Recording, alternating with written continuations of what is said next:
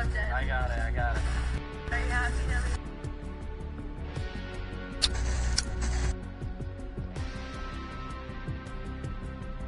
together. Uh, Pacinos are gonna die together. Man, how did you live, Brooke? I don't know. I don't, I'm so I protected her. Uh, Really? Brooke, I protected you and everything.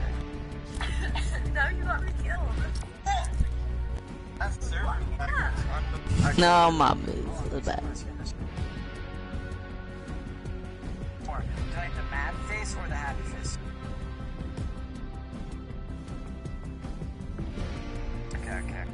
Alright, alright.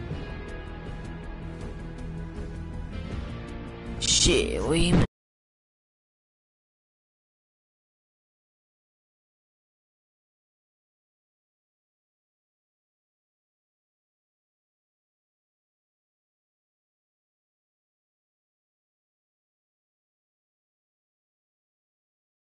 I feel like I want to drop a 30 bomb.